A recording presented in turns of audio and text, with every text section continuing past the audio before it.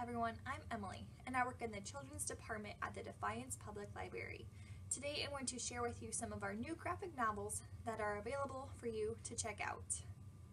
George and Harold's Epic Comics Collection by Meredith Russo. George and Harold are back and they're making new comics starring their favorite superhero, Captain Underpants. George and Harold's Epic Comics Collection contains their favorite stories about the biggest baddies, nastiest naysayers, and feistiest fart monsters.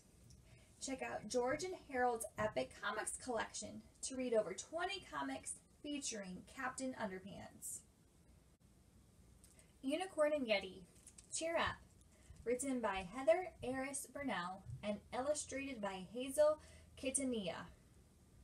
Join Unicorn and Yeti in three short stories. First, in the gift, Unicorn gets Yeti a gift. What could it be? Yeti feels bad for not getting Unicorn a gift. Unicorn tells Yeti to cheer up.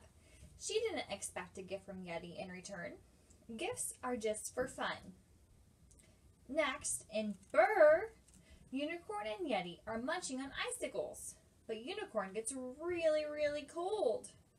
What can Yeti to do to warm her up? Yeti starts to knit. Yeti knits Unicorn a hat, then a scarf, mittens, leg warmers, and a bodysuit. Unicorn is finally warm enough, but Yeti keeps on knitting.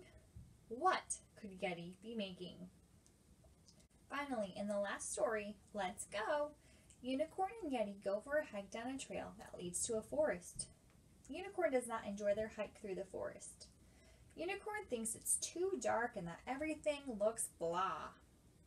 This is Yeti's favorite part of the forest. Unicorn flops down into the snow. And when she does, Unicorn sees the forest in a new way. To read all about Unicorn and Yeti's adventures, read Cheer Up by Heather Ayris Burnell.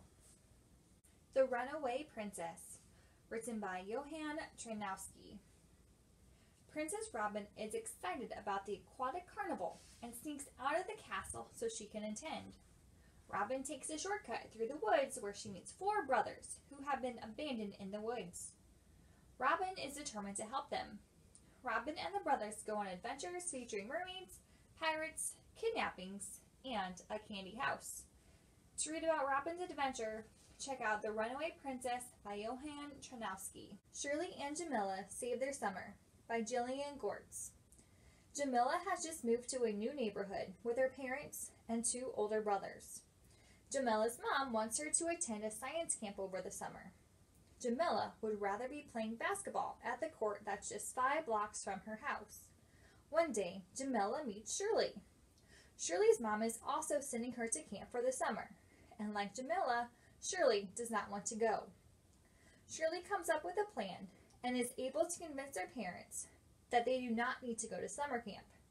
Instead, both girls can hang out as long as they follow the rules set by their parents. Jamila is able to play basketball while Shirley just hangs around the court.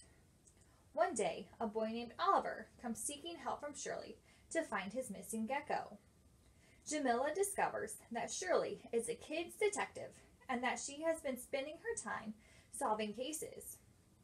Helping Oliver means that Jamila and Shirley will have to leave the basketball court, breaking the rules set by their parents. Do Jamila and Shirley take the case? If they do, are they able to find Oliver's missing gecko? Find out in Shirley and Jamila Save Their Summer by Gillian Goerz.